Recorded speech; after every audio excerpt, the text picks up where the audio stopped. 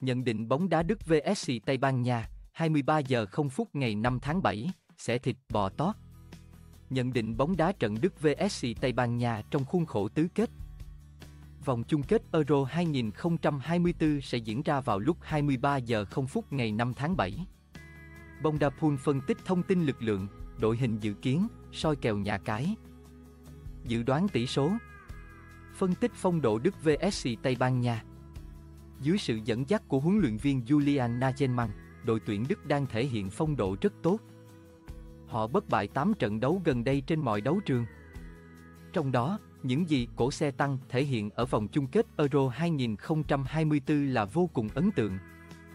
Qua đó biến họ trở thành ứng cử viên sáng giá cho chức vô địch tại giải năm nay. Đội tuyển Đức đã giành ngôi đầu bảng A một cách thuyết phục. Sau đó, họ tiếp tục thi đấu thăng hoa và đánh bại đối thủ Đan Mạch hai bàn không gỡ ở vòng 1 phần 8. Qua 4 trận đấu tại Euro 2024, họ ghi tổng cộng 10 bàn thắng, trong khi lưới nhà mới bị rung lên hai lần. Xin nhấn mạnh rằng, Euro 2024 là giải đấu do Đức đăng cai. Thầy trò huấn luyện viên Nagelsmann nhận được sự cổ vũ rất lớn từ cố động viên nhà. Cùng với tinh thần đang lên rất cao, cổ xe tăng có thể nghiền nát bất kỳ đối thủ nào. Cho dù đó là đội tuyển Tây Ban Nha đang khát khao hướng tới chức vô địch lần đầu tiên kể từ năm 2012. Ở Euro 2024, đội tuyển Tây Ban Nha cũng đang thể hiện phong độ rất tốt. Thầy trò huấn luyện viên Luis de la Fuen toàn thắng 4 trận, qua đó nâng chuỗi trận toàn thắng lên con số 6. Cùng với chủ nhà Đức, đội bóng xứ sở bò tót được giới chuyên môn đánh giá là ứng viên sáng giá cho chức vô địch năm nay. Vì vậy, trận tứ kết sắp tới ở Stuttgart vô cùng đáng xem, thậm chí được gọi là chung kết sớm. Gần như khai tử lối chơi tấn công tiki-taka trứ danh. Đội tuyển Tây Ban Nha chuyển sang chơi thứ bóng đá tấn công trực diện tại Euro 2024. Họ hạn chế những đường truyền rườm rà ở giữa sân. Thay vào đó tìm mọi cách đưa bóng nhanh nhất đến trước cửa khung thành của đối phương cho các chân sút của đội nhà dứt điểm. Trong lối chơi chuyển trạng thái tấn công rất nhanh đó của Tây Ban Nha, hai cầu thủ chạy cánh Lamin Yaman và Nico William đóng vai trò tối quan trọng. Kỹ thuật tốt, sức trẻ và khả năng càng lướt tuyệt vời của họ khiến mọi hàng thủ mà họ đã đối đầu ở Euro 2024 đều khiếp sợ. Đội tuyển Đức sẽ đánh bại Tây Ban Nha để thẳng tiến vào vòng bán kết.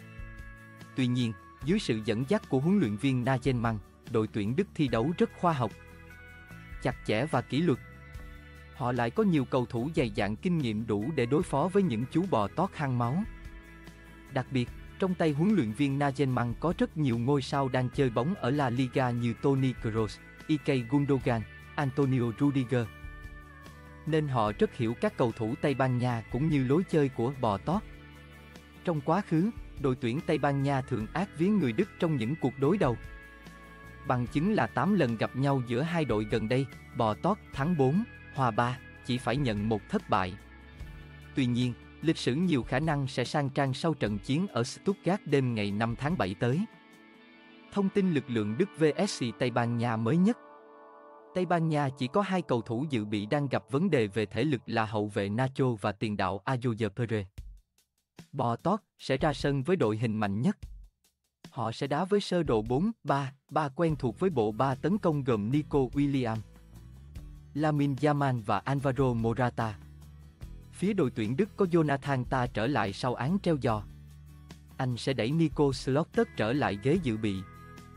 Để đá cặp trung vệ với Antonio Rudiger, cầu thủ về cơ bản đã bình phục chấn thương. Trên hàng công, nhiều khả năng huấn luyện viên Julian Nagelsmann sẽ đặt niềm tin vào tiền đạo Kai Havertz. Đội hình dự kiến Đức vs Tây Ban Nha Đức 4, 2, 3, 1 Neuer, Kimmich, Rudiger, Ta, Rom, Andrić, Kroos, Sen, Gundogan, Musiala, Havertz. Tây Ban Nha 4, 3, 3 Simon, Kukulela, Laporte, Lenormand, Hàng, Rui, Rodri, Petri, William, Yaman, Morata soi kèo nhà cái Đức vs Tây Ban Nha. Tại hiệp 1, 6, 7 trận đấu gần đây của Tây Ban Nha đều có từ một bàn thắng trở lên ở hiệp 1. 12, 14 trận vừa qua của Đức cũng có tối thiểu một bàn thắng trong hiệp đầu. Chẳng bàn thắng, Cả 4 lần chạm trán giữa hai đội gần đây đều kết thúc với tổng số bàn thắng là số chẵn. 4 trận đấu vừa qua của Tây Ban Nha tại Euro 2024 cũng đều có kết quả chẳng bàn thắng. Morata mở tỷ số, nhà cái đánh giá cao khả năng tiền đạo Alvaro Morata của đội tuyển Tây Ban Nha sẽ ghi bàn thắng mở tỷ số ở trận tứ kết gặp chủ nhà Đức. Tỷ lệ cược cho khả năng này xảy ra là 13, 2, đặt 2 ăn 13. Morata chính là cầu thủ ghi bàn thắng đầu tiên cho Bò Tót tại Euro 2024. Đó là pha mở tỷ số trong chiến thắng 3, không trước đội tuyển Croatia ở vòng bảng. Chuyên gia bóng đá dự đoán Đức vs Tây Ban Nha. Cựu danh thủ Gary Neville, bình luận viên Sky Sport, tôi tin vào một chiến thắng dành cho đội tuyển Đức.